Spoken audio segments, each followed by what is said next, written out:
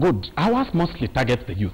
And um, we've done a lot of work for the youth because the people that we empower in the company are the young people who are between 18 to 35.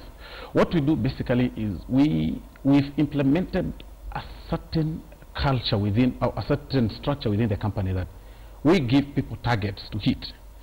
That uh, once you hit different targets in the company, we promote you as a sales manager or as a branch manager, then we open another branch. That's how we've been able to grow.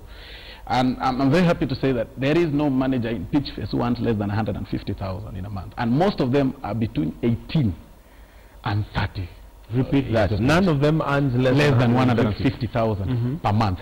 But if you ask this person how he started to work with us, unlike most of the people who finish school and come with, um, you know, CVs, you know, nowadays you don't really eat your uh, CV. You need to start somewhere. Appreciating, accepting. One of the key small. words you're told when you're looking for a job is experience.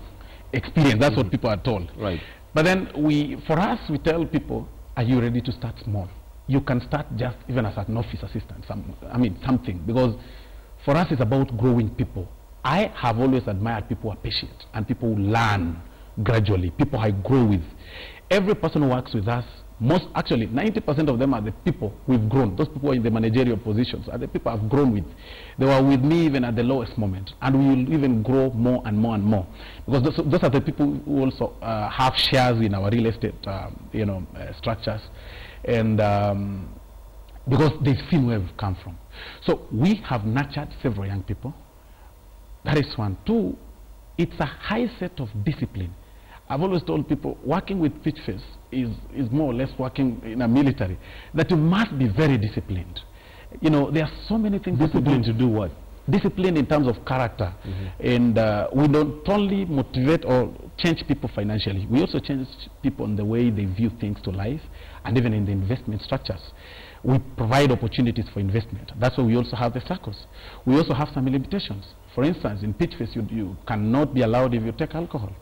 That is one of the things. I'm one of the uh, Is it, is it, ambassadors is it, is it a religious uh, um, uh, value or is it just a company value? It's a company value. It's a company value because initially we used to allow, you know, as I said, most of them are young people. Initially, the time we come to the office really matters. I am always in the office at 5 a.m. in the morning. I actually open my office myself, not the secretary. Every single day. Every single day. You know, I've always told people if you don't make one million shillings net in a day, you have nothing to do in bed past 4 a.m.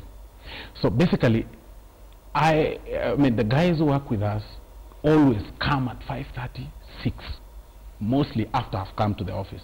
So look at it this way. You've gone somewhere out, you dunk yourself funny, and then you come to the office at 6. Uh, we tried, like, it's a freestyle, and we realized most young people that we work with, some of them having a lot of money, and uh, I mean, they used to come at 9. I went some party, I did this and this and this. Then we set a policy that we also want to teach you how to put your money right and safe.